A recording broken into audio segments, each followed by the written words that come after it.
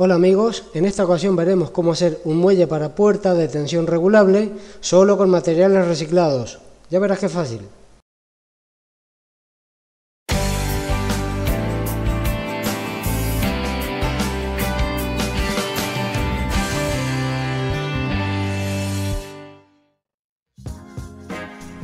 En este proyecto utilizaremos un trozo de chapa como esta, un tubo redondo, un muelle de somier que entre dentro del tubo, dos tornillos de 10 milímetros con cuatro tuercas, un tornillo de 4 milímetros con tuerca y arandelas y un recorte de tubo o bien podría ser también un trocito de chapa. Empezamos marcando y cortando el trozo de chapa con el cual haremos la base principal de la máquina.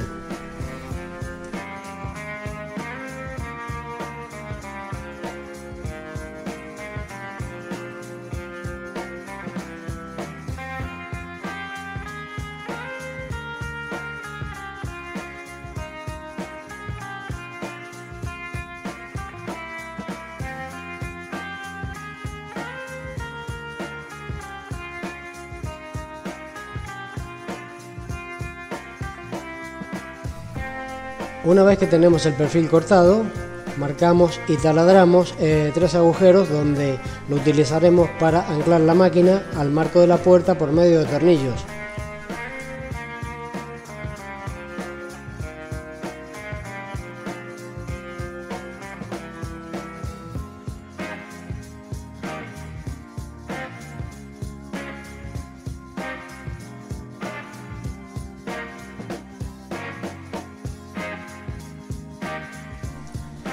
Paso siguiente doblamos los dos extremos de la chapa en el mismo sentido, en los cuales haremos unos taladros para sujetar los tornillos de 10 milímetros que usaremos como eje y tensor.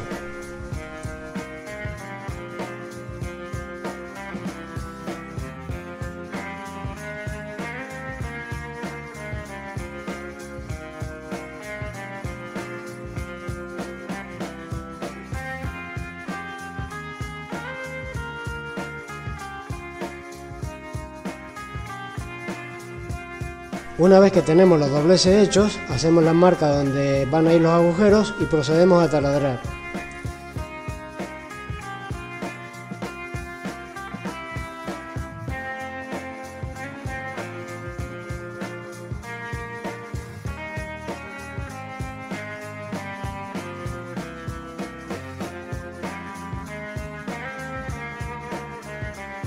Primero hacemos unos agujeros guía con una broca pequeña y luego pasamos la broca de 10 milímetros.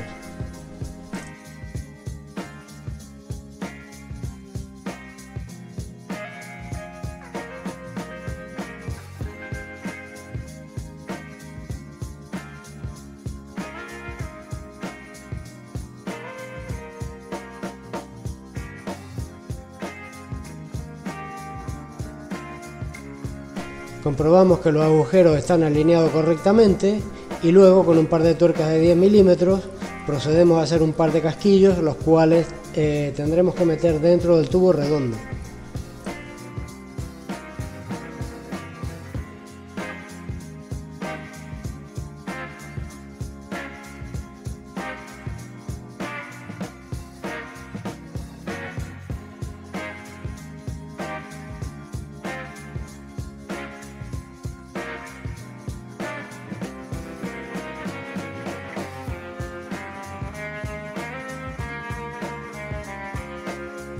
A continuación montamos la máquina parcialmente para comprobar el largo que necesitamos del tubo redondo y lo cortamos.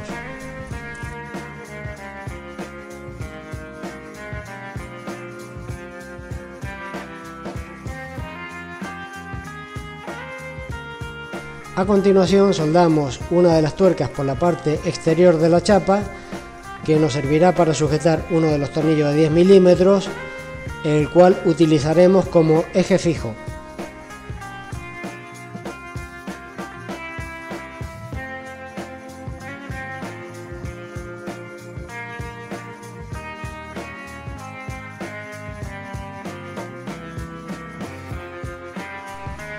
Después de soldar y repasar las soldaduras, comprobamos que las medidas están correctas y a continuación eh, pasamos a preparar el tornillo que nos va a servir de eje y tensor.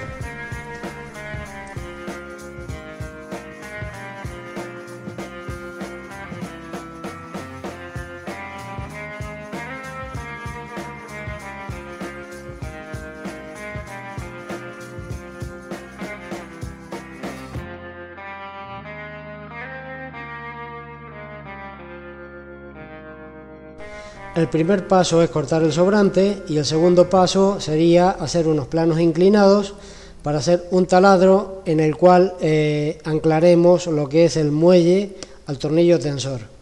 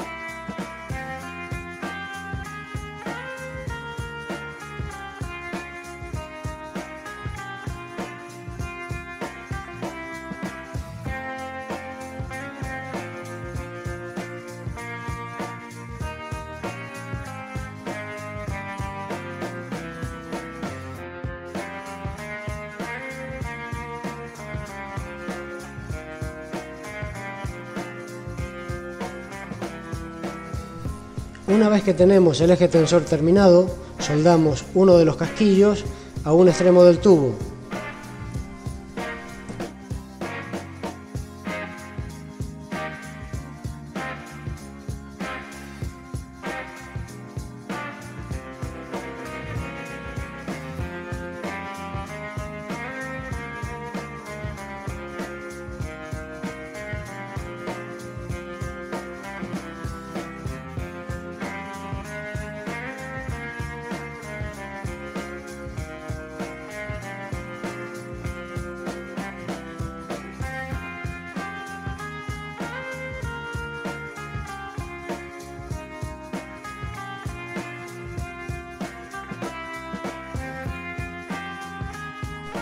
Una vez que lo hemos soldado y repasado la soldadura, eh, matamos la rosca con una broca para que no se nos enganche después en el eje fijo.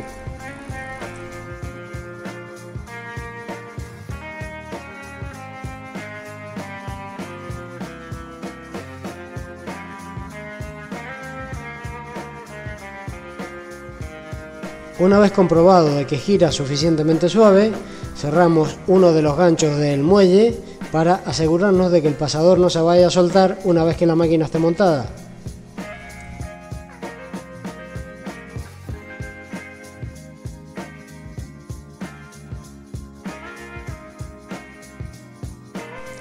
En el siguiente paso hacemos un agujero en el tubo que nos servirá para poner un pasador, el cual eh, nos ayudará a fijar el muelle en el propio tubo. Y este debe coincidir con el agujero del ojo del muelle.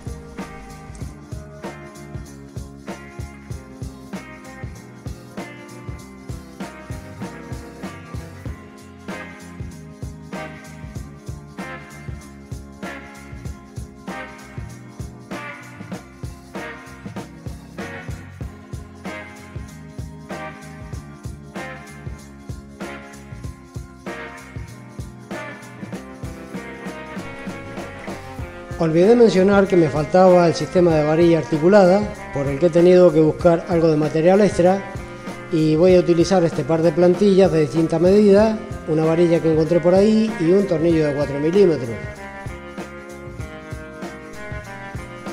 Empezaremos improvisando la articulación usando estas dos plantillas. La más resistente la soldaremos al tubo redondo y la que hace de horquilla la soldaremos a la varilla y entre las dos Utilizando el tornillo de 4 milímetros de eje haremos la bisagra que necesitamos.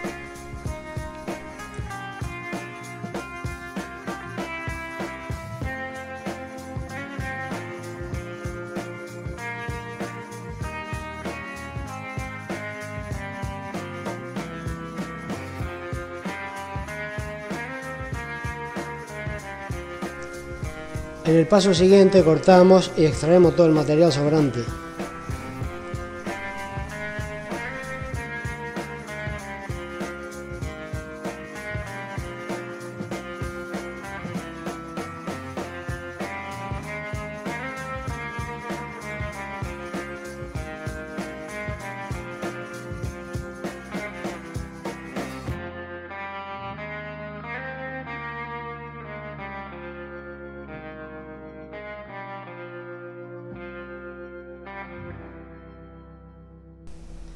Una vez que tenemos las piezas terminadas, procedemos a soldarlas en su ubicación definitiva.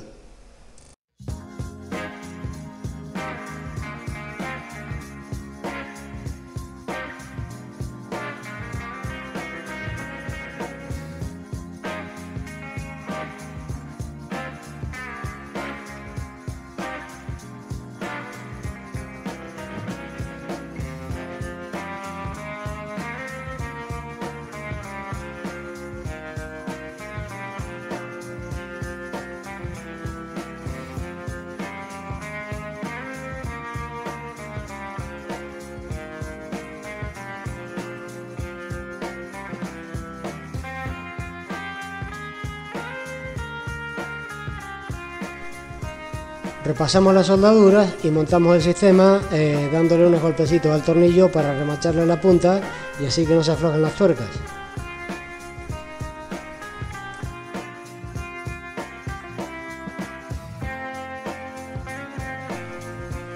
Una vez llegado a este punto, hacemos un montaje simulado para ver si todo funciona correctamente y una vez que estemos seguros que todo está bien, eh, procedemos a hacer el montaje final. El pasador que voy a utilizar es un clavo de palet también de reciclaje. En el montaje final tenemos que asegurarnos de que el pasador va a pasar por dentro del ojo del muelle, de lo contrario la máquina no funcionará como debe.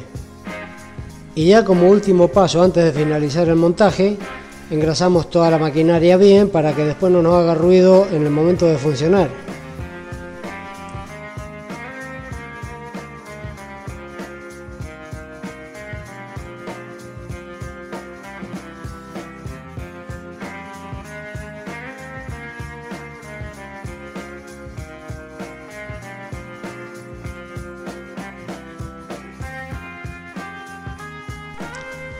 Veréis que el casquillo del tensor va suelto, esto no influye para nada en el funcionamiento de la máquina, solo sirve para mantener el tubo centrado y así, de todas maneras, si tenemos que desmontar alguna vez, no tendremos ningún problema.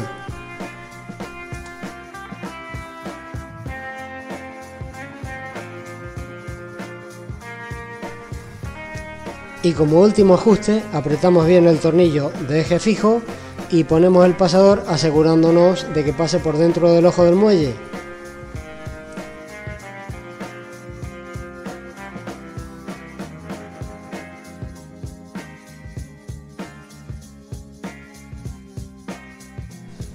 Como paso final cortamos el pasador y lo remachamos.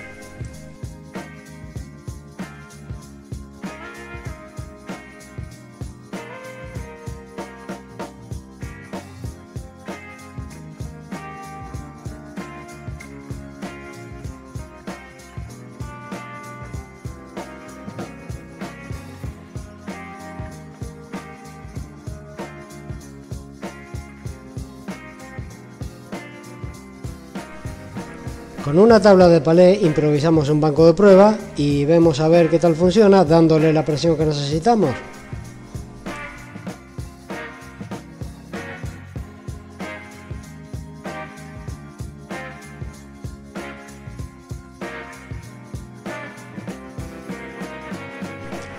Para darle la tensión que queremos, eh, ajustamos el tornillo tensor y una vez que tenemos la presión necesaria, apretamos la contratuerca y la máquina ya quedará regulada.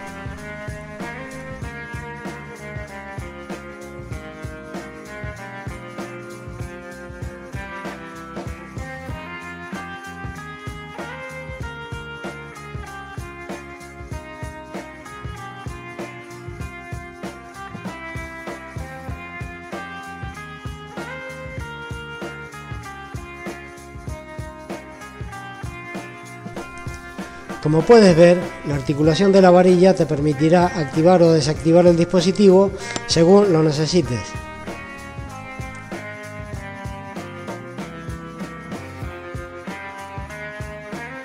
Y para finalizar, con este trocito de tubo haremos la corredera que va en la hoja de la puerta.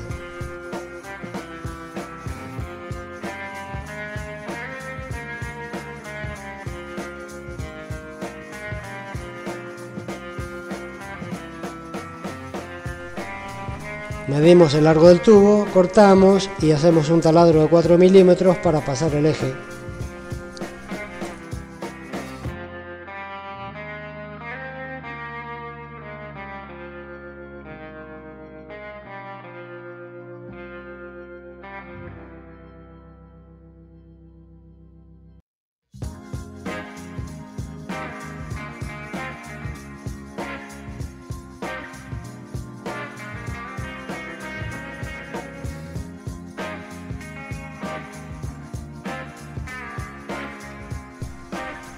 Marcamos los cortes y procedemos a quitar el material que nos sobra.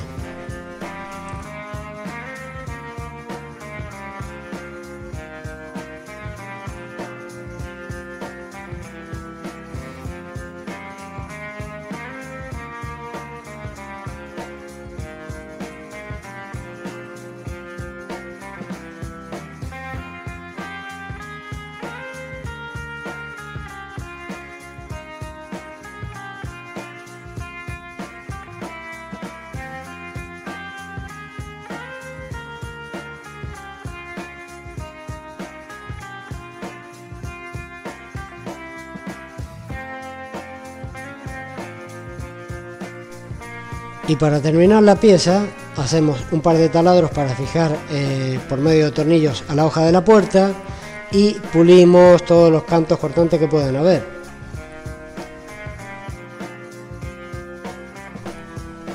Montamos el sistema de corredera usando el tornillo de 4 milímetros, un par de arandelas y un tubito redondo pequeño.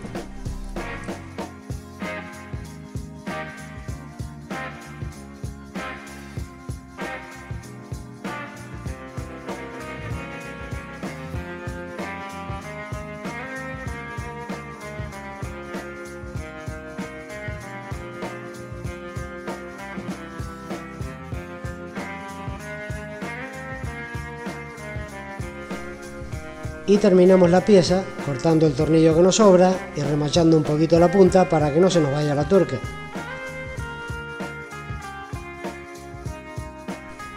Y una vez finalizada esta última parte, pues ya podemos ir a montarlo a la puerta.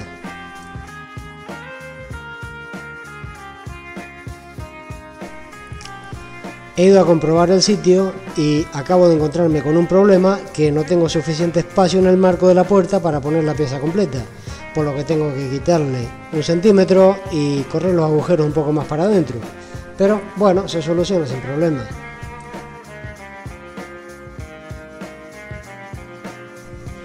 Bueno, ahora que lo tenemos solucionado, ya lo podemos instalar.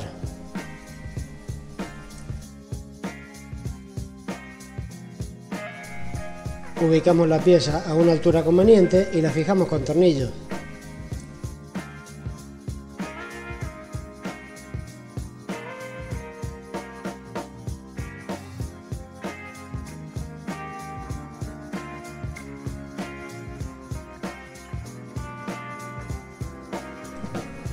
Esta pieza se podría pintar del mismo color que el marco e inclusive también darle barniz con tinte roble y se quedaría de un tono cobrizo muy bonito.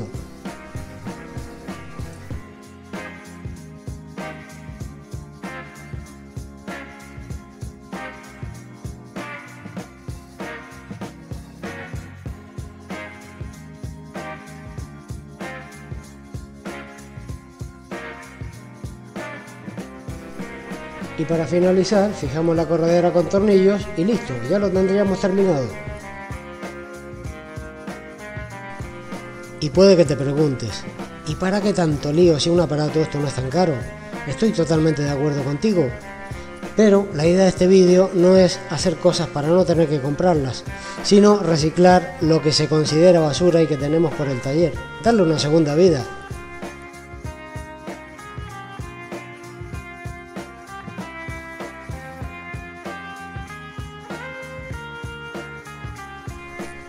Como veis, podemos activar y desactivar el tensor siempre que nos haga falta.